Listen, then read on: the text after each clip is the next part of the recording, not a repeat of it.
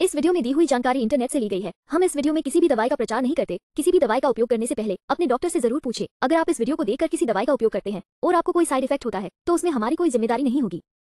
S P L बेसिलिस number सात एक होम्योपैथिक उपाय है, जो मानसिक थकान, पाचन तंत्र जेनेटो यूरिनरी सिस्टम श्वसन प्रणाली और न्यूरोमस्कुलर सिस्टम के लक्षणों में उत्कृष्ट परिणाम प्रदान करता है। इसका उपयोग मुख्य रूप से मानसिक और शारीरिक थकान को कम करने और नियंत्रित करने के लिए किया जाता है।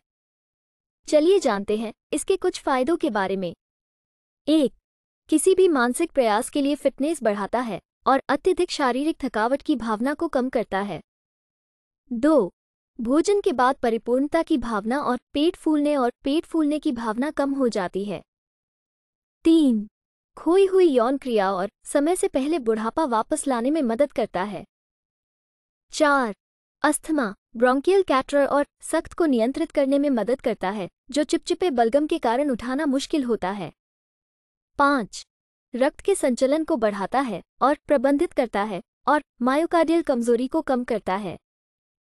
छः, बेहोशी की भावना देने वाले पीठ दर्द को कम करने की प्रवृत्ति के साथ रेशेदार ऊतकों को आराम देता है। वीडियो को पूरा देखने के लिए धन्यवाद। अगर आपको वीडियो अच्छी लगी हो तो वीडियो को ज़रूर लाइक करें। साथ ही हमारे चैनल को सब्सक्राइब करके, नोटिफिकेशन बेल को और नोटिफिकेशन पर सेट करें।